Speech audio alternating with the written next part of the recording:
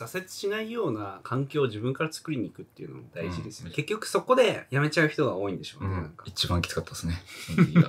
いやどうも、柳です。今回はですね、未経験サラリーマンが動画編集を始めた結果というテーマでお話ししていきます。今日実は僕の家にいるんですけれども、新松さんがせっかく来てるということで、ぜひ飲みながら食べながら話そうじゃないかというところで、僕が最初面談した時も、新松さん最初サラリーマンだったんですよね。そうです。はい。でそこから副業でまずは動画編集はい。独立してっていうことをやってきてる方なので、そのあたり踏まえてね、どういうことをやってきたのか聞きたいなと思いますし、あと一応僕も副業で9ヶ月か10ヶ月ぐらいやって独立しているので、その時の話とかをできればなと思いますので、今からね、何か動画編集始めようとか、副業を始めよう、それからフリーランスになりたいって思ってる方は、めちゃくちゃ参考になる内容かなと思いますので、ぜひ最後までご覧ください。それでは飲んでいきましょう。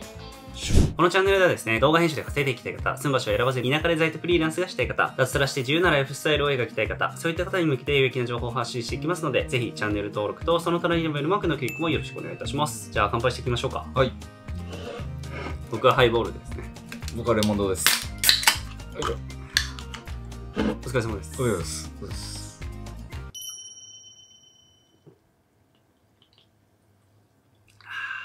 僕、あれですね、フリーランスになって思ったのは、飲み会？わ、はいかります？会社員って、はい。なんか集まって飲み会、うわーみたいなのがあるじゃないあります。はい。あれがないなと。ないですね。思いましたねみんな別に仕事終わりに集まるなんてこともそうそうないですしたまに撮影で現場かぶれば僕はねノリとかとね飲みに行くこともありますけど、僕は中では結構それはいい要素かなと一緒に仕事しないですもんね。うん一人で仕事して、たまに作業会やるぐらい、そうですねはい。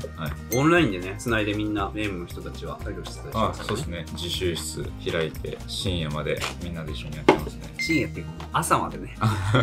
結構いますけど。会社員時代結構ありました、飲み会は。新卒1年目の会社ははい。同期とか仲良くてよく飲みに行ってたんですよ。飲みに行ってたし毎週末どっか行ったりとかみんなで。ただ僕東京配属だったんですけど東京配属のメンバーみんな東京に実家がある人たちしかいなくてはい。僕だけ一人暮らしなんですよ。でももらってる金額一緒なんですよね。一人だけこれお金みんなどうしてんのって思いなが厳しいですよね。ら家賃は7万でした。新卒7万、他の支払いとかいろいろあったら普通に10万以上すぐなくなりましたなくなっちゃいますね。同じ駅にね今住んでるんですけど、はい。彼は。僕が新卒の時の。うん。駅前のお弁当屋さんの余った300円ぐらいの弁当を買って 帰る。かあれとビール1缶ですね、うん。を買って帰ってました。まあ、間違いないですね。昼ご飯はカップラーメンと栄養不足にならないようにと思って、うん。サラダとあとはモンスター。この3点セットですね、うん。新町さんって副業でどれぐらい稼げてたんですか？副業だとマックスで10万円ですね。23ヶ月目で5万円達成して4ヶ月目に10万円達成してはいはいはでそのまま独立したって感じです。いちなみにその10万円稼いでた時ってはい。どういう仕事をしてたんですか、5万円までは編集だけでやってて10万円の時はサムネイルとかあとは柳チャンネルの企画台本とかはいはいはい立ち上げ時期だったんで確かに。副業で毎週企画7本出してくださいの時代です。なので企画台本とかにも挑戦しながら10万円達成したみたいな形です。僕一番最初副業だと思ってなくて すごいいろいろやってくれんなと思って。ではい。もちょっと日中編集遅いなと思ってがっつり仕事をしてましたよ僕は。でもなるべく日中も早く返信しようとはしてましたね。4ヶ月目の時は結構出社してたんですけどトイレ休憩の時には絶対返信するとか、副業の時ってその返信スピードとか結構ね気にしちゃいますよね。まあ、ディレクターの立場になっても結構やっぱ返信スピード速い人は助かるのでそこはやっぱ基準になっちゃいますよね一つ実際僕の話をするとまあ僕も最高で言うと副業の時10万ぐらいでした。何をやってたかっていうと僕の場合は本当に編集業務だけですね。数をたくさんやってたのとアフターエフェクトの案件もたまに受けてたので副業時代は本当に独学で一人でやってたので何も分からずとりあえず突っ込んでいって案件があったら 結構玉砕して案件もらえる人のためにはい。なんかいろいろ何でもやってあげるみたいな。もうイエスマンでしたね完全に。それもディレクターさんの下でずっとやってたみたいな感じですか？ディレクターもありましたし、いわゆる YouTuber の方、あそれは収益がめちゃくちゃ生まれてたのももちろんあったんですけど、5000円とかなんか安い金額でやって、その人に要求されるものを作る。職人みたいな感じですね。うんどんぐらい稼働してましたか？副業の時は。一番長い時で7時が定時だったんですけど、はい。コロナの時とかも暇だったんで7時半には帰って8時から作業し始めて2時とかまでやって2時。6時間ぐらい。なおかつ僕割と自由だったんで仕事が。仕事中も返信したりとか、ちょっとした修正とかだったら仕事中にやっちゃってましたね。ごめんなさい。ごめんなさい。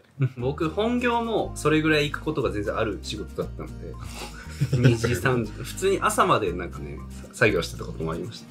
新町さんはどんなスケジュールなんですか、僕は副業時代は結構朝早く起きてもうやってましたね。始業が9時なんで、6時くらいに起きて、電車乗って会社の近くのカフェ行って、意識高い人ですね。意識高い人してたりとか、あと納期が本当に厳しい時はもう深夜までやってましたし、副業5万の時が一番稼働してたかもしれないですね。編集案件が多かったんで、やっぱり時間がかかっちゃうんで、副業なのもそうですし、駆け出しっていうのに絡んで、編集スピードもそんなに速くなかったんで、うん、結局そこで辞めちゃう人が多いんでしょうね。うんなんか、一番きつかったですね。そこを頑張って乗り越えたりとか、あとはみんなで励まし合いながら乗り越えたりとか、まあ、生徒さんはそんな感じですよね。そうですね。私もめちゃくちゃ副業できつかった時に、東京でオフイベとかやるじゃないですか。オフラインでみんなで会ったりして、同期の人とかもいるわけなんで、その人たちと話してモチベーション上げるみたいなのはよくやってました。だからそのあたりも、この見てる方たちが全員できるかわかんないですけど、挫折しないような環境を自分から作りに行くっていうのも大事ですよね。うんめっちゃ大事ですね。普通に挫折してたと思いますね。一人でやってたら。案件で言うと、3件、4件ぐらい抱えてたりそうですね。編集案件が3件ぐらいですかね。柳さんのチャンネルの企画と台本ですかね。あれもなんか急に始まりましたよね。あれは急に始まりましたね。はい、そんなに絡みもなかったじゃないですか。なんだったらその、エイムのイベントで一緒になってたんですけど、なんか覚えてなかったらしくて僕のこと、後から聞いたら、今住んでるとこ昔一緒だったんですよね、みたいな話もしたんですけど、なんか覚えてないみたいな。感じのところから急に連絡が来て、あ僕のチャンネル手伝ってくれませんかって言われて、あ、やりますって言ったところからですもんね。ちなみに案件ってどういうところで営業してたんですか、1個目の案件は X ですね。それが確か1本3000円ぐらいの背取り系の案件。今もやってるやつですか？そうです。すごっそう。そこから繋がってます。最初は3ヶ月ぐらい編集やってたんですけど、サムネイル講座っていうエイムのイベントがあって、そこに参加してからサムネ作れるようになったんで、サムネも作れますみたいな提案をしたところで、YouTube の分析してくださいみたいなの言われたんですよ。アナリティクスも見れますみたいな、がっつり見たこともないんですけど、ちょっと見たことあるぐらいで、全然分析できますって言ったら、ああ、じゃあやってくださいみたいな。そこからもう今ずっと、このチャンネルには携わって。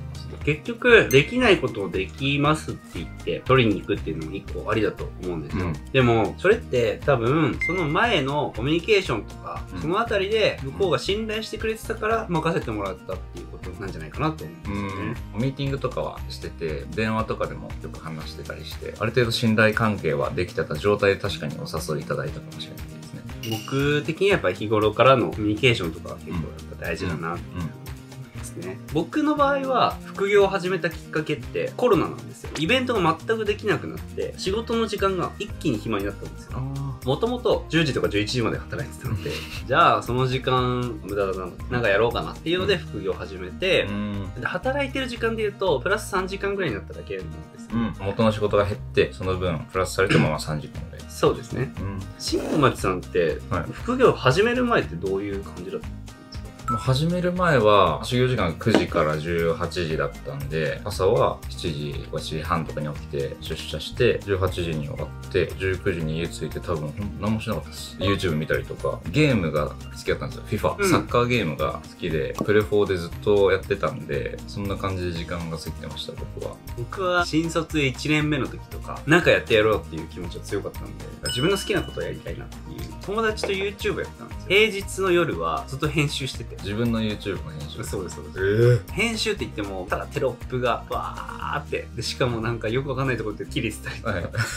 僕はどういう企画をやってたかっていうともう YouTube 上にはないので言うとメントスコーラってあるじゃないですか。ありますねあれを一回ぐらいやりたいってなった時に普通にやっても面白くないとなって、うん。メントスで器を作ってそれにコーラを入れようと。メントスで銃を作ろうっていう企画て メントスを潰して、はい。熱して潰して、はい。銃の形にして持ってこの注ぎ口からコーラを注いで 飛ば飛ばそうみたいなあやったんですシューって。で入れてはい。蓋をするんですよすぐ、はい。はい。そしたら飛ぶんじゃないかと。仮説としてはまああり得るというか。まあ飛ばなかった飛ばない飛ばない。手の中でメントスが溶けてただ汚くなる。ベトベトになって終わりっていう。それどんくらいやってたんですか？1年ぐらいやってましたねなんえだかんだ結構継続して。そういう生活もしてたんで割とスッと副業に入れた感がありますあそこ編集もしてるし、まあ、結構ハードな日程こなしてたし。そうところでそういう風にね副業頑張ってたと思うんですけど、はい。実際5万稼げたら結構生活変わるじゃないですか。はい。僕はコンビニで値段見ないで買うようになりましたね、生活の変化変わりますか？躊躇なくライブに行けるようになったりとか。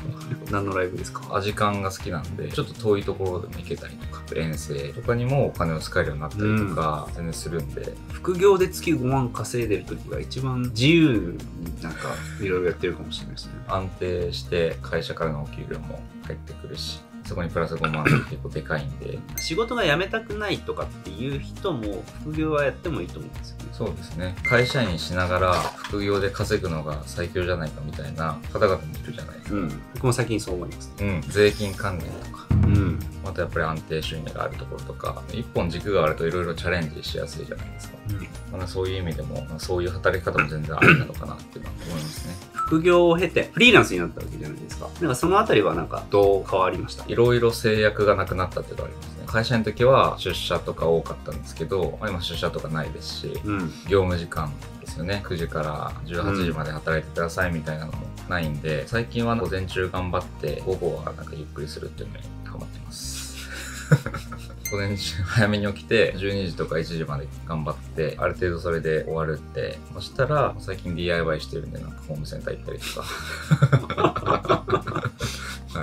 てますかね？何作ってんですか？棚とか、へー。壁に壁に棚とか作ってたりとか。僕もやってましたよ。やってました？新卒の時 突っ張り棒買って。網網のやつを100均で買ってきて結束バンド。ああ結束バンド。でやって、誰しもが通る道だ DIY 自分があちょっとこれやりたいなとか思ったタイミングでうん。いろいろできるのもいいですしまあ昼間は病院行けるのとかもいいですし歯医者とか確かに。予約が取りやすいとサウナも昼間だったら空いてるっすもんそうなんですよ。柳さんもフリーランス独立した当初は変わったりしたんですか？僕の場合は稼いでてやめたわけじゃなかったので稼がなきゃやばいっていうのでエイムに入ったんで僕の場合は、会社員を辞めて変わったっていうよりかはエイムに入っていろいろ教えてもらえるようになって変わったっ感じですかね、うんもともと低単価で受けてたけど、うん。もっと高単価で受けれるんだみたいな。そうですね、ん。営業のやり方もちょっと変わりましたし今までは僕がそんなに質のいいお客さん捕まえてなかったんであれなんですけどとにかく新しいのを交換するみたいなのひたすらやってたんですよ。入れ替えをたくさんしてたんですね。それって結局あんまり意味がないというかひたすら疲弊するだけなんで、うん。でその時に初めていろいろ紹介されたりとか周りに声をかけたりとかして質のいいお客さんを捕まえることができたわけですね、うその人にいっぱいできることはしてあげようみたいなやり方に変わったっていう感じですかね、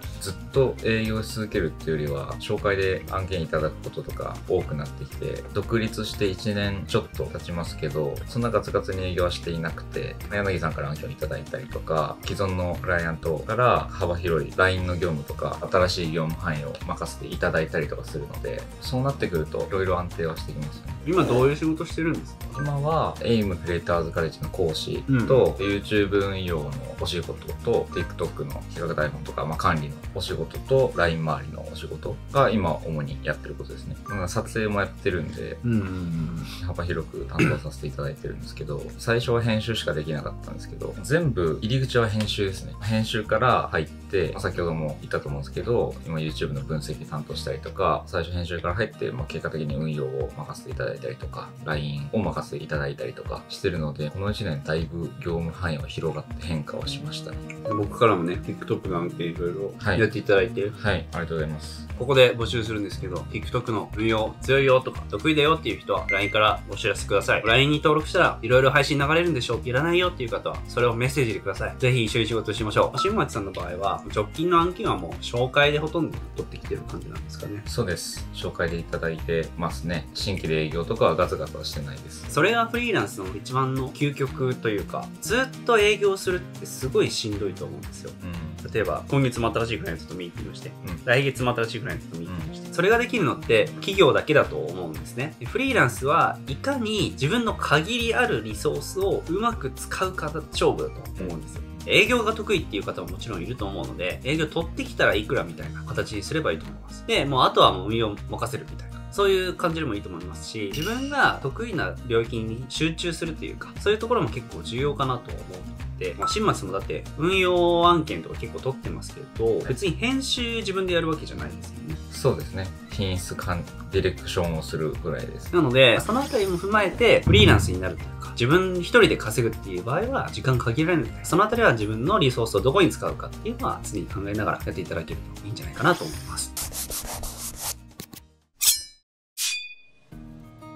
はい、ということで、いかがだったでしょうか今回はですね、未経験サラリーマンが副業で動画編集を始めてみた結果っていうテーマでお話ししてきました。今日、結構二人のね、体験談をもとに、いろいろ細かくお伝えできたかなと思うんですけど、実際、副業からやってみて、はいフリーランスになってみて、はいどうですか？やってよかったですか？はい、よかったです。フリーランスになりたいと思ったきっかけが、会社員の出社しなきゃいけないだったりとか、業務時間が決まってたりとか、そういう制約が多いっていうところから出したいっていうところだったんで、今は好きな場所で働けていますし、好きな時間に自分の好きなタイミングで働けるっていうところで、会社員時代に思っていた不満みたいなところはなくなって、日々楽しく過ごせていますという感じです。なるほど。今、副業を始めたいと思ってる方にメッセージをください。今給料面に不満があったりとか自分と同じように出社だったりとか時間の縛りがあるのが嫌だっていう方いっぱいいらっしゃると思うんですけど一歩踏み出していただいて継続をすれば絶対にその状態から抜け出せると思うのでぜひ一歩踏み出していただいて皆さんが少しでも自分の納得のいく生活スタイルみたいなところを確立していただければというふうにっております。はい、はいありがとうございます。はいということで、今日は副業を始めた時からのちょっとリアルなお話をお二人で話していたんですが、結論ね、動画編集まだまだ稼げますし、副業もちろん最初のうちは初心者なので、もちろん大変だとは思うんですけど、ぜひチャレンジしてね、見ていただければなと思いますし、これからね、動画編集始めたいとか、悩んでる方に向けて、僕の方からいろいろプレゼントをご用意してますんで、ぜひね、そちらも受け取っていただければなと思います。動画を最後までご覧いただきありがとうございます。僕の公式 LINE では動画編集をこれから始めたい方に向けて役立つようなプレゼントをたくさんご用意しております。えーぜひね、興味ある方は概要欄の公式 LINE からお受け取りください。あとですね、僕が講師をしている AIM クリエイターズカレッジの詳細もそちらから見れるようになっております。えー説明会も随時開催しております。またですね、今回僕の方からお問い合わせいただいて、AIM にご入会していただいた方限定でクローズドなコミュニティにご招待することに決めました。えーそちらではですね、僕に直接質問しながらいろんな案件をやれたりとか、そういったコミュニティになっております。えーぜひね、そちらも興味ある方はね、僕の公式 LINE からご登録いただいて、AIM の説明会一度聞いてみてください。それではまた次回の動画でお会いしましょう。バイバイ。これからの目標でもあれでいいじゃないですか。彼女を作るでいいじゃない そうですね。彼女を作ります。絶対使ってください。え？